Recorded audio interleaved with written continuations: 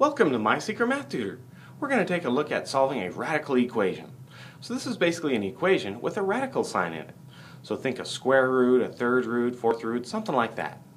Now the process for doing this is first we want to isolate that radical to one side of the equal sign.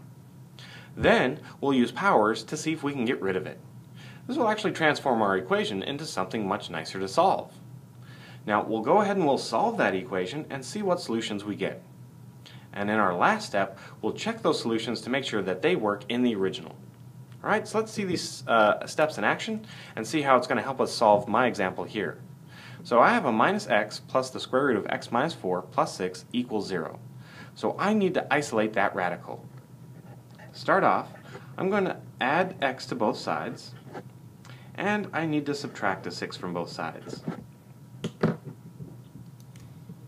This will give me the square root of x minus 4 is equal to x minus 6.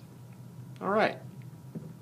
Now that we have this guy isolated, we need to get rid of it by using some powers.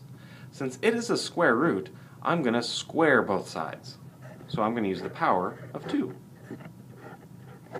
Alright? So on the left side, this will get rid of our square root. And now I have something a little bit better that I can solve. Now, be careful with the right side. When you square something that has two terms, you actually need to FOIL that out.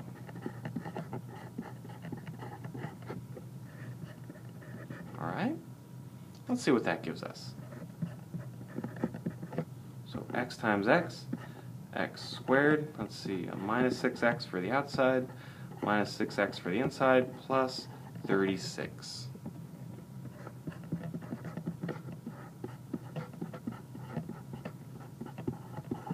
Alright, looks good. So when I look at this equation, I see that I have an x squared. This means that it is now a quadratic equation. So to solve this, I'm going to move everything over on one side, get it equal to 0, and then see what I have. So I'm subtracting x from both sides, and we'll go ahead and add a 4 to both sides. So 0 is equal to x squared minus a 13x plus 40. Good. Now there's a variety of ways you can solve a quadratic equation. You could complete the square uh, quadratic formula. But one of the quickest is just to see if it factors.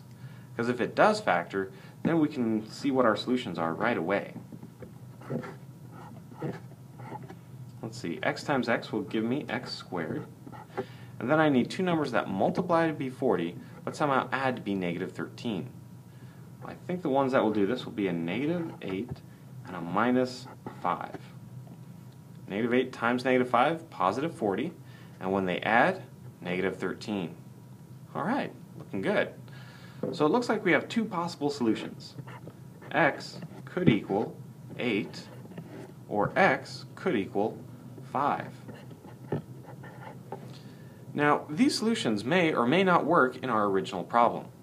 To figure out, we need to check them. So let's go ahead and start with this 8 and see how it works. So negative 8 plus the square root of 8 minus 4, add 6. So I'm checking if this really does equal 0. So negative 8 plus the square root of 8 minus 4 is 4. Let's see, negative 8 plus the square root of 4 is 2. So I have negative 8 plus 2 is a negative 6 plus 6. Oh, sure enough, 0 does equal 0. All right. So it means that we will keep this solution. It works in the original. All right, now let's go ahead and give the other one a try. So negative 5 plus the square root of 5 minus 4 plus 6, is it really equal 0? So negative 5 plus 5 minus 4 is 1 plus 6 equals 0. And the square root of 1 is just 1. Alright, so let's see. Negative 5 plus 1 is a negative 4 plus 6. Hmm, not so good. 2 is not equal to 0. So what does that tell me about that solution? Well, it means I need to get rid of it. So the only solution that works in our original problem here is just x equals 8. If you'd like to see some more videos, please visit mysecretmathtutor.com.